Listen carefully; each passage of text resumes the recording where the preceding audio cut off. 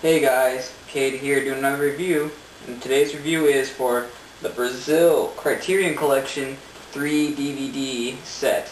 Now if you aren't familiar with the movie Brazil, it is on Terry Gilliam's one of the one of the classic like 1984 sort of Orwellian movies.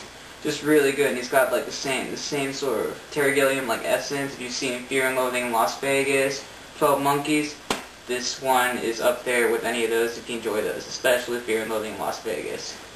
Now, I won't spoil the story for you, but like I said, it's very Orwellian, kind of weird and stuff like that, but I still recommend it highly.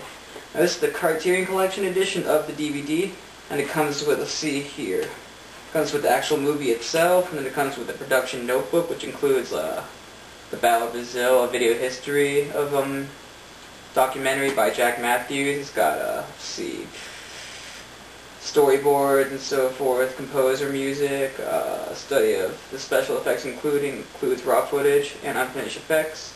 And this 3 has um, the Love Conquers All version, which is sort of a controversial version of this film. If you like Brazil, or if you like Terry Gilliam, or just really weird movies, like, say, like, if you like David Lynch, I highly recommend this movie. Classic.